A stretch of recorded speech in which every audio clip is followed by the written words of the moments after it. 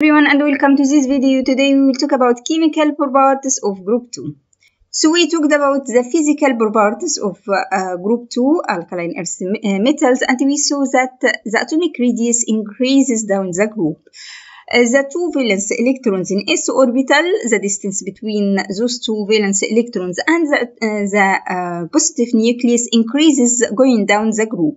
This is why the attraction uh, will decrease and this will uh, will make it easier for group 2 to lose their two electrons uh, valence electrons which means the reactivity would increase going down the group. So the distance the atomic radius increases the reactivity also increases. Because you are decreasing the attraction between the valence electrons and the nucleus now, if we looked at group 2 reaction with oxygen in here, if we ignite uh, magnesium ribbon in presence of uh, uh, oxygen air using Bunsen flame, you could see that white fumes are formed.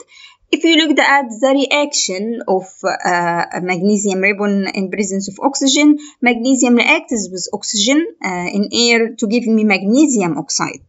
Magnesium oxide has a basic character because when it so dissolves in water, it gives me magnesium hydroxide. In here, you could see this milky uh, color uh, of the water due to the uh, formation of magnesium hydroxide, which has a basic character and um, slightly soluble in water.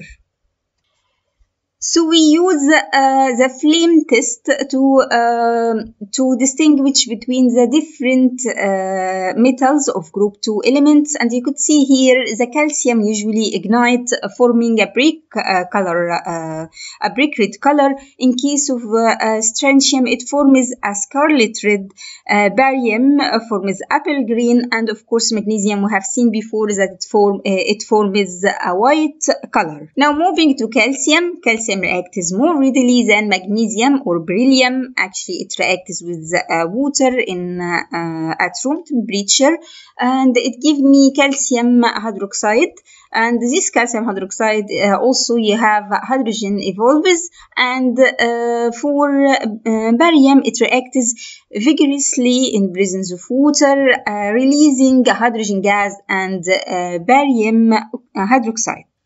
So if we looked at the alkalinity of group 2 elements, it, it, increases going down the group. And the reason behind that, you are increasing the solubility. So you are moving from minus, uh, uh, 10 uh, to the uh, fifth power to the minus 3, then you have minus 2. So you are increasing, actually you are increasing uh, the solubility. This is why you are increasing the alkalinity as well. The more soluble means more dissociation. This is why you have you will have a more alkaline solution. Now, if we looked at the solubility of group 2 sulfates, it actually decreases going down the group. Uh, so you have the solubility of uh, hydroxides uh, increases going down the, uh, the group, but in here it uh, the solubility of sulfates would decrease going down the group. And the reason behind that is the enthalpy change of hydration. So you have the positive cation surrounded by water molecules and the negative anion surrounded by water molecules. And this hydration, when it happens, if you have a larger atomic radius, the attraction between the positive cation and water molecules would decrease similar to the negative anion uh, with the water molecules. So you are increasing the atomic radius this is why your hydration uh, enthalpy change of hydration would decrease because you are decreasing the attraction between the ions and water molecules. Now, if we looked at another reason, also the lattice energy would decrease going down the group. So you have the lattice energy decreases, this energy that you uh, require to stick the ions together uh, uh get low, uh, decreases going down the group. Uh, this is uh, because it is uh, inversely proportional to the sum of anion and the cation. So you are increasing the atomic radius, you expect uh, the uh, lattice energy would decrease and you have this less exothermic reactions of when you dissolve sulfates going down the group.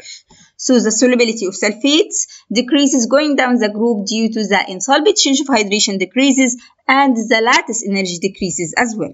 Now, if you look at group 2 carbonates, they don't react with water, they don't dissolve in water except for beryllium, they react with dilute acids. In here, if you see magnesium sulfate, uh, magnesium carbonate, when it reacts with uh, dilute sulfuric acid, it gives magnesium uh, sulfate, water, and carbon dioxide. Now, except for this reaction, the rest of elements, when the uh, example for that, when calcium carbonate reacts with sulfuric acid, dilute sulfuric acid, what happens is actually the formation of the insoluble sulfates that would just deposit on the carbonate, preventing the further reaction of um, uh, the carbonate with the dilute acid.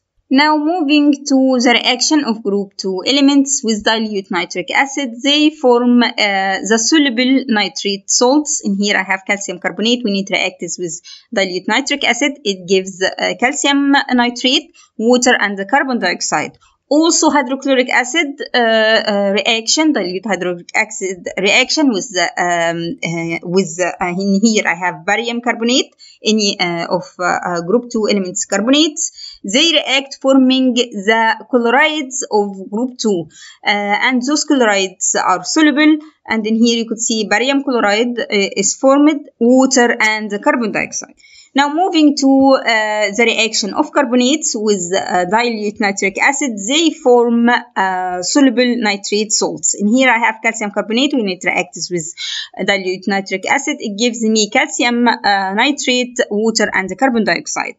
Uh, in here, the calcium carbonate is soluble. Now, moving to the reaction of uh, carbonates with dilute hydrochloric acid, they uh, actually form soluble chlorides, chloride salts, in here you have barium carbonate when it reacts with uh, dilute uh, hydrochloric acid. Uh, it gives uh, barium chloride which is soluble water and carbon dioxide now moving to the thermal decomposition of group 2 carbonates and nitrates, they decompose at high temperature giving off uh, metal oxides. These metal oxides, in case, in, uh, uh, in case of uh, uh, carbonates, it gives off metal oxide and the carbon dioxide. But in case of the decomposition of nitrates, it gives off the metal oxide and uh, the toxic nitrogen dioxide gas, which have a brownish color. Now moving to the temperature at which thermal decomposition happens, it increases going down group 2. For carbonates, you are uh, decreasing the polarization. This is why you are increasing the thermal stability of uh, carbonates.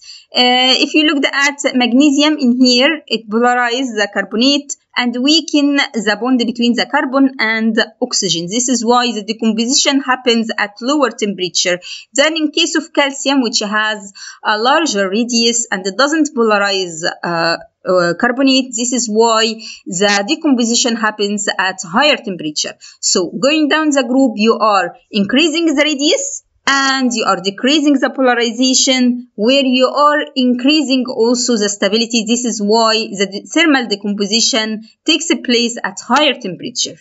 Now, if we looked at nitrates, the stability of nitrates going down the group actually increases. So you have the barium, which have a higher stability, has a higher stability than strontium. Calcium moving to magnesium would have the less stability. So the more stable, the higher the decomposition temperature would be. Moving to the uses of group 2 compounds and uh, for calcium uh, it is uh, found in limestone which is a form of calcium is a calcium carbonate. There are many types of limestone that provide useful rocks for buildings. Now uh, marble also is another form of calcium carbonate that is used in building material such as tiles. Calcium carbonate or the limestone is also used to make cement. Uh, so the first step usually is roasting the limestone uh, in lime kiln at high temperature. Uh, now, when the calcium carbonate decomposes, it forms uh, calcium oxide, which is a quick lime that is further roasted and mixed with clay to make cement.